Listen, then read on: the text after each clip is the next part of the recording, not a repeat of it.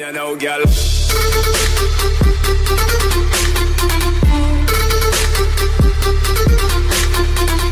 Hương Tràm khiến fan mắt tròn mắt dẹt với hình ảnh nóng bỏng. Đã qua rồi một thời Hương Tràm mập mạp tròn trịa, giờ đây quán quân đầu tiên của The Voice đã sẵn sàng khoe thân hình bốc lửa trong loạt ảnh bikini.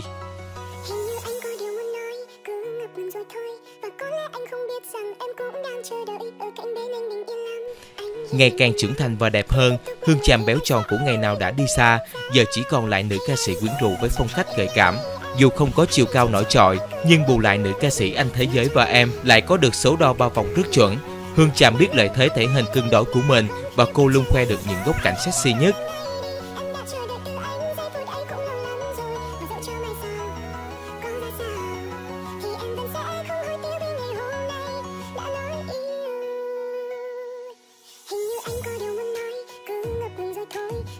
Hương Tràm khiến các fan mắt tròn mắt dẹt với hình ảnh nóng bỏng trong bộ ảnh bikini mới nhất.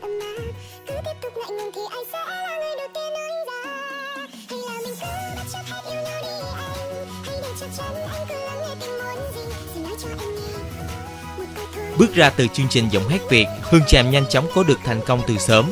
Cô cũng khiến người ta quên dần hình ảnh mầm mềm trên sân khấu và thay vào đó là hình thể nụt nà cùng những bộ cánh bốc lửa.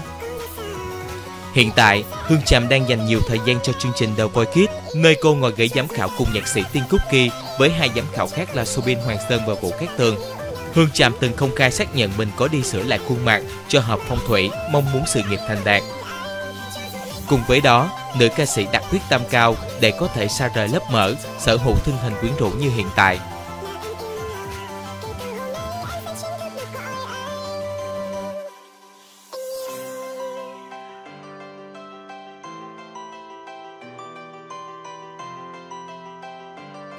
Dẫu có trải qua nhiều lầm sơm, không thể phủ nhận, Hương Tràm vẫn là một quán quân The voi nhận được nhiều sự yêu mến của khán giả.